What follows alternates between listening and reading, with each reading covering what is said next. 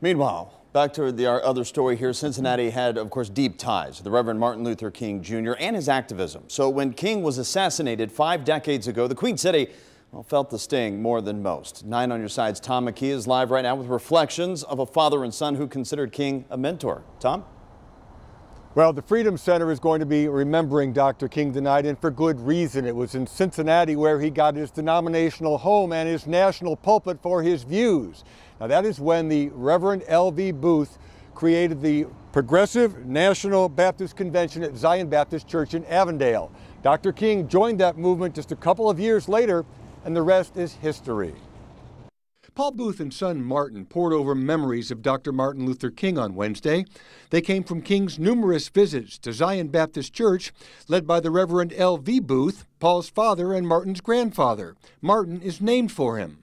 His greatness did not bother him. He was he he was a person of, uh, of uh, humility, and he had a real human touch, just just very down to earth. Dr. King was one of the most thought-provoking leaders of our time, and just to be able to just be a, his name bearer um, is just is something to you know to look up to um, as a mentor.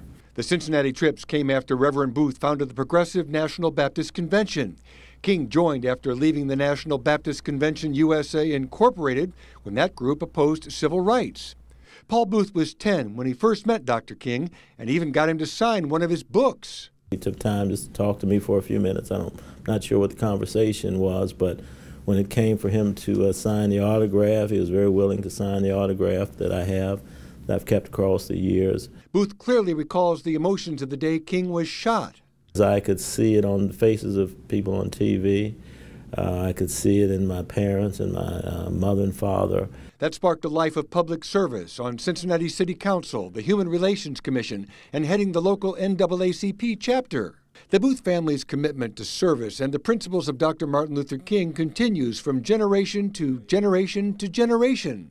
And I think that's ultimately inspired me to get involved into my community, to become a leader, to try to add, um, um, to give people voices who can't speak for themselves. So that's what I've tried to do in my daily life. Well, back here live at the Freedom Center, I'm joined by my colleague Kristen Swilley. And Kristen, basically another person deeply involved in the civil rights movement with Dr. King was the Reverend Fred Shuttlesworth.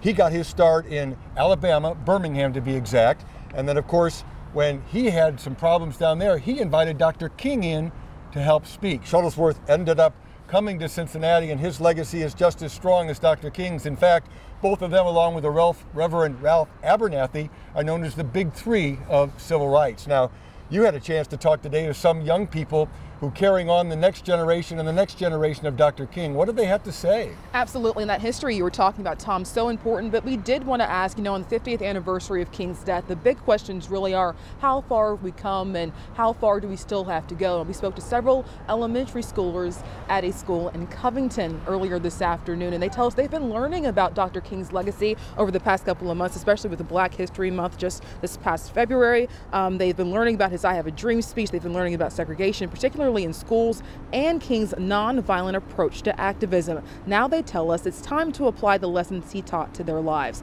Here's what fifth grader Wanasia Ellis had to say about keeping King's legacy alive. I think I want to continue his dream by keeping it unsegregated and even ending this whole blacks versus white thing completely and just making it to where everybody can be together and there will be no conversation even coming up about the color of our skin. Wanasia certainly has the right idea. Now we'll have plenty of other interviews with many more of those kids coming up in our later newscast. But for now, reporting live at the Freedom Center this evening, Kristen Swilley, 9 on your side.